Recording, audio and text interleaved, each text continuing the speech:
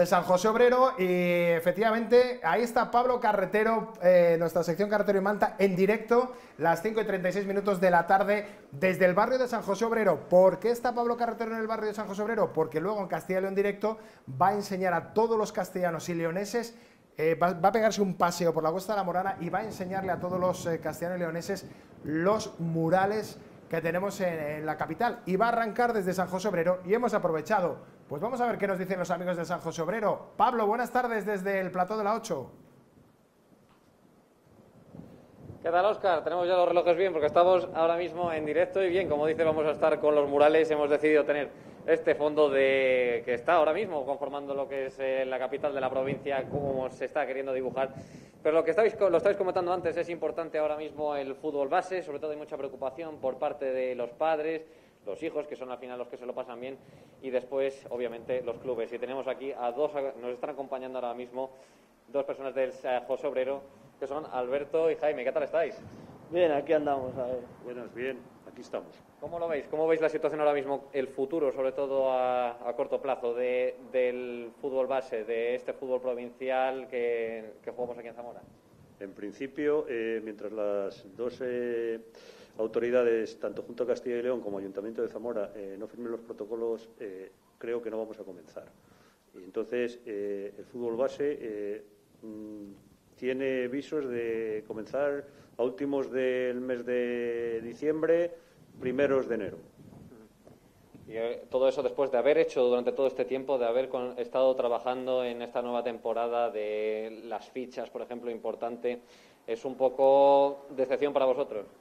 Pues sí, porque eh, por parte de la Federación eh, nos dieron una fecha a tope para hacer fichas, la han vuelto a ampliar, entonces el trabajo que, estás llevando, el tema burocrático, pues no lo ves eh, eh, puesto en, los campos. Y los niños pues también tienen bastante desilusión porque ven que hay deportes individuales que ahora mismo ya se están practicando y te dicen que ellos por qué no. Alberto, ¿tú cómo lo ves? Yo lo veo que sí, las autoridades sanitarias lo, lo, lo ven, dan el visto bueno y con un protocolo sanitario me parece mejor que se pueda entrenar con un entrenador eh, con 12, 15 niños, por ejemplo, fútbol 7, que tienes localizados a todos con los datos de los padres y niños, que por ejemplo en pistas son frontones que van entrando y saliendo gente y no tienes ninguna manera de localizarlos o saber quiénes han entrado o quiénes no han entrado.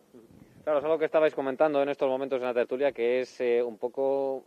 Eh, no se permite jugar de esta manera, jugar en un club, pero sin embargo sí que se está pudiendo utilizar las instalaciones. Es eh, un poco esta paradoja la que decís vosotros que no entendéis de las administraciones.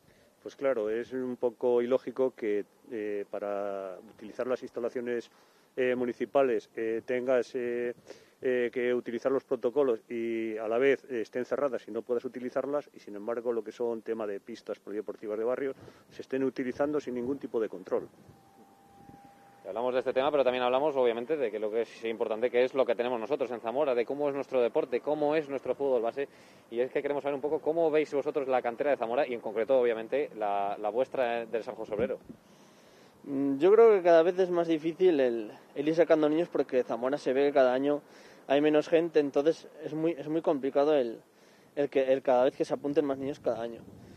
Yo creo que habría que, que ver también eh, con clubs y demás, eh, por ejemplo, que unos clubs no tengan como, como 20 niños, por ejemplo, y otros, otros tengan 12. Nosotros creo que vamos bien, por ejemplo, se está trabajando, tenemos en, de fútbol 7 para abajo, tenemos eh, equipos en todas las categorías, pero creo que cada vez es más complicado en Zamora, sea fútbol o sea en, otras, en otros deportes, el, el que haya cantera. ¿Cuál, ¿Cuál destacáis? Equipo, bueno, sé que obviamente tenéis, no, queréis hacer favoritismos, pero quién, ¿con quién os quedáis? ¿Con qué grupo decís que tenéis en todas las categorías? ¿Cuál es vuestro, cuál creéis que es el mejor equipo que tenéis? Yo creo que decir un equipo el mejor es, es difícil. Yo creo que se viene trabajando bien. Eh, por ejemplo, el, el Alevín que, que pasa infantil quedó campeón, campeón de liga. En el que viene, el otro que viene por debajo de fútbol 7, que pasa a Levin, también es buen equipo que también ha ganado la liga. El, Benjamín se venía trabajando muy bien, el de primer año que pasa a segundo año. El pre-Benjamín de, de, segundo año quedamos eh, segundos de liga y con el pre-Benjamín de primer año primero. O sea que yo creo que que está bien, pero que lo principal es que los niños se diviertan y que aprendan. El, el ganar o el, o el perder, claro, obviamente gusta más ganar, pero lo principal es que aprendan y que se diviertan.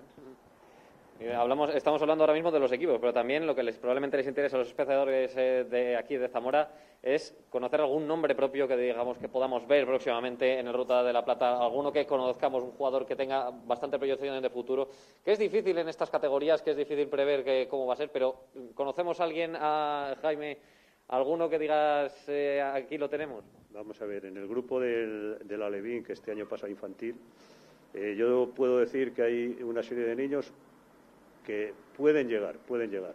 De hecho, dos eh, han estado en la selección de Castilla y León, preseleccionados, y no quiero dar nombres porque siempre es mm, complicado de cara a, los demás niños y de cara a los padres, porque después eh, son los que realmente... Que hay mucha- si no, es muy competitivo y no lo queremos todavía a estas edades, Entonces, ¿no? yo creo que es, eh, eh, por ejemplo, ese equipo es un equipo muy competitivo, todos, todos los niños, todos los niños. Entonces, de ahí puede salir algún nombre, que yo obviamente no voy a decir. Será el futuro el que pueda, el que pueda decir si de ese grupo puede llegar alguno o no puede llegar alguno, porque en esto del fútbol ya sabes que eh, depende muchas cosas, las lesiones, depende las circunstancias personales de los niños, mm, mucho. Depende muchas cosas, entonces yo no me atrevo a decir un nombre ahora mismo, pero que de ese grupo, si todo se da como se tiene que dar, eh, eh, veremos alguno en el Ruta de la Plata. Pablo, Estoy seguro. A ver, de- no sé, voy a preguntar, os quería preguntar, Óscar, si vosotros conocíais alguno, vosotros que estáis muy familiarizados sí, con el fútbol. yo sí, sí, sí, Ángel, conozco- obviamente, con con- el periódico de la... Sí, Sí. cuéntanos. Conozco varios, conozco varios del equipo, por cierto, de Alberto, que está ahí contigo, varios chavalines que la pegan y la rompen, y alguno en categoría, creo que ahora estaría en categoría 10 años, categoría que es, ven, eh, 10 años son, eh, Alevín ya, de primer año, ¿no? 10 años También. yo creo que es Salevín. Alevín, también tiene alguno también fantástico. Eh, lo que te decía, estaba comentando aquí Víctor Oterino, eh, que le preguntáramos a, le preguntaras a Jaime qué fue de aquel convenio que firmaron unos cuantos clubes con el Zamora Club de Fútbol hace un par de temporadas. Creo que está el Villaralbo, el San José Obrero, eh, para reforzar las canteras. Yo no sé si sigue activo, si vive ese convenio. Que nos lo cuente Jaime.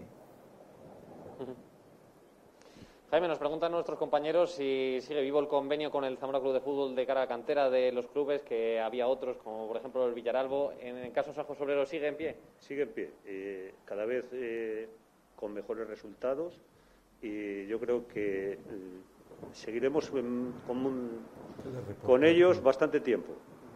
Importante de cara, imagino, también a, a- a eso, a, a que el- todos los equipos de Zamora al final estemos a una, y es que a nuestros chavales fomentar esta cantera, fomentar eh, el- que los zamoranos lleguen a algo en el fútbol. Pablo, Pues sí, porque el equipo representativo de, de la provincia es el Zamora Club de Fútbol. Entonces, eh, lo que prima es trabajar los clubes de base para que en categorías eh, regionales y nacionales puedan estar en el Zamora Club de Fútbol. Pablo, Bueno, pues nos quedamos aquí y ya... sa- Di- Sí, Pablo, cuéntanos. sí, quiero que le hagas una pregunta. Eh, ¿Qué le reporta a un club como el San José Obrero que, que haga niños para el Zamora? ¿Qué, qué- qué le reporta a su club? Pregunta de Alfonso de la Fuente de la Pablo. Pregunta Adela, un, un tertuliano que tenemos, que ¿qué le reporta al San José Obrero este convenio? Bueno, pues eh, en materia de formación tenemos unas eh, jornadas en las que tanto nuestros entrenadores como los entrenadores del Zamora hacemos jornadas de, de- de- para aunar el tra- eh, cómo hacemos el trabajo y algún tema de material también es lo que nos reporta, nada más. Es más realmente eh, quid pro quo, más, de dar a Zamora que más en pensar en el interés de los clubes. Bueno, es un poco eh, trabajar para el equipo representativo de la ciudad y de la provincia, que es el Zamora. Entonces, eh, nosotros somos club de barrio, club de base, que tenemos que tener los pies en el suelo. No podemos competir ahora mismo con el, Zamora, porque es el que, el que realmente está aquí. Y, tienes que trabajar para que los chavales puedan eh, estar en las categorías que realmente los clubes de base no tenemos. No sé si tenéis alguna otra pregunta por allí. ¿Alguna otra cosita, chicos? Nada, darle nada, nada más, Pablo. Eh, que te des una vuelta por. Luego te vemos en Castilla y León directo, eh, con esos preciosos murales que tenemos por, eh, por la ciudad. Te veremos luego. Tomaros una cañita, que tenéis tiempo, eh, por ahí por San José Obrero. ¿Algún sitio que haya que, que recomendar por el barrio, chicos, a, Bueno, a Jaime y a Alberto no porque son del barrio, pero a Pablito sí, Hombre, ¿no? Es un barrio espectacular y por bares que no sea. De, Eh, la, que, de cualquiera. la que vive allí sabrá bastante. Hombre, yo, yo hombre. conozco muchos. ¿Eh? Hay bastantes, hay bastantes. Manda un saludo uno. a la gente de tu barrio, no. hombre. Pero si decimos un par de ellos después, los otros cuatro o Claro, cinco no. También es no, verdad, no, también no, no se pueden dar nombres. Que se dé una vuelta por todos los bares por ahí. Bueno, date una vuelta por todos los bares, pero después del Castilla León directo, que te conozco. Gracias. Sí, sí, sí, ya me estabas incitando aquí cuando estamos de servicio. A ver, nosotros un cafecito con hielos y eso, y a seguir trabajando.